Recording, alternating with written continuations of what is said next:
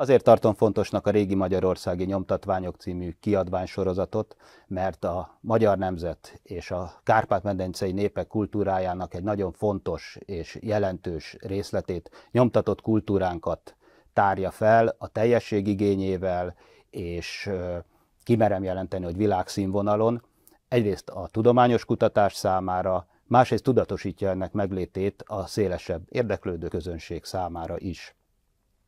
A ez a nyomtatott örökségünk 1473-ban indult Hess András munkásságával, ennek egyébként most van az 550. évfordulója, és a kötetek szép sorban, időrendben előre haladva ezt az időszakot dolgozták föl.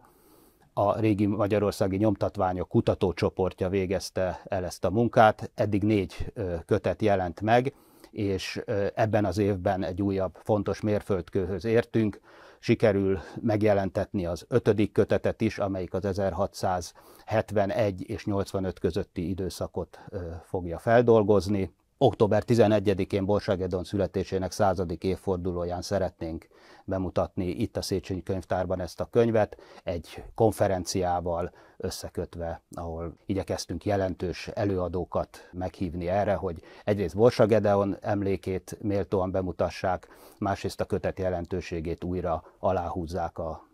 tudományos közvéleményben és az érdeklődők körében. Amikor én 1998-ban ide kerültem az Országos Széchenyi Könyvtárba, a régi magyarországi nyomtatványok kutatócsoportba, akkor Borsa Gedeon természetesen már egy élő legenda volt, akkor, euh, még nyugdíj, akkor már nyugdíjas volt, de még euh, bejárt a könyvtárba minden euh, délelőtt, zömében a saját kutatásait folytatta, de természetesen részt vett a legfontosabb életműve a régi magyarországi nyomtatványok szerkesztésének munkálataiban is a munkacsoportnak egy régi munkamódszere, és nagyon jónak gondolom ezt a munkamódszert, hogy egy-egy elkészült tételt mindenki elolvas és véleményezi azokat minden egyes szerző, és hát természetesen Borsa Gedeon is benne volt ebbe a körbe, mégpedig úgy, hogy ő a nyomtatványokkal is összenézte ezeket a leírásokat. Ami megdöbbentő és lenyűgöző volt számomra, mint kis fiatal 24 éves kezdőnek, hogy Borsa Gedeon véleményét, a megjegyzéseit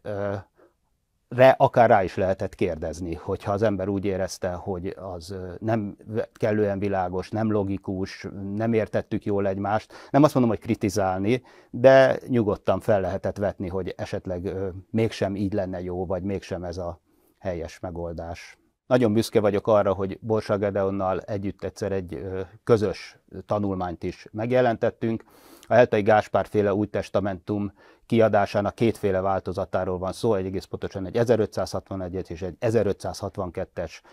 kiadás ismeretes, amely kis részletekben különböznek egymástól, és én vettem észre, hogy nem csak a szedés különbözik, hanem a papírok is eltérőek a kétféle részben, és Természetesen Borsa Gedeon, aki az egésznek a koncepcióját kigondolta, vagy elkezdett foglalkozni ezzel a problémával, azonban ezt a részt, amit én vettem észre, ezt teljes egészében rám hagyta, hogy ezt kidolgozhassam. Megvárta türelmesen, míg én is elkészültem ezzel a résszel, mert az ő munka tempója azért gyorsabb volt, és jóval hamarabb megvolt a megfelelő résszel, és utána úgy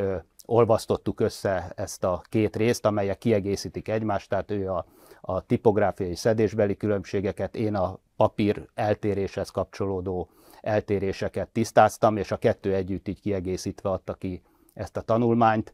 E, ez, ez nagyon nagy dolog volt, így utólag visszagondolva talán akkor nem is voltam tisztába azzal, hogy milyen megtiszteltetés ez, hogy közösen készítettük el ezt a tanulmányt.